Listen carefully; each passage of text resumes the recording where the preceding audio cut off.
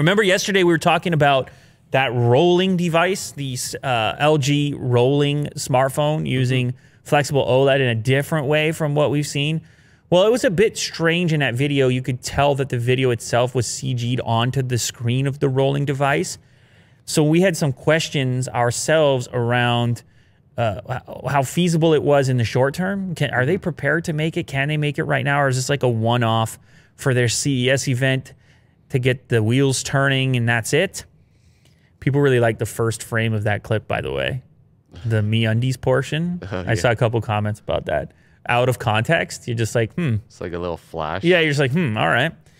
Uh, anyway, so we have a new development there. LG is actually going to release this device in partnership with BOE, actually, the uh, Chinese manufacturer of displays. They have teamed up to actually deliver this product and to deliver this product sooner than uh, many may have expected.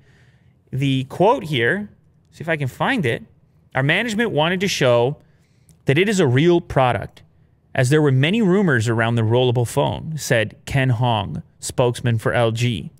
As it is released at CES 2021, I can tell that it will be launched this year. Wow. 2021. So that's going to be cool. We're going to need to get our hands on that, hopefully. Yeah, and we could reach out to LG and see about it because I can't wait to play around with it. As far as working with BOE, uh, BOE has supplied OLED displays to Huawei in the past.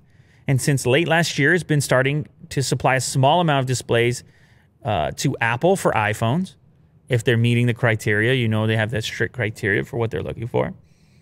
And uh, LG has decided to partner with them for whatever reason. I guess there's some sort of an advantage there.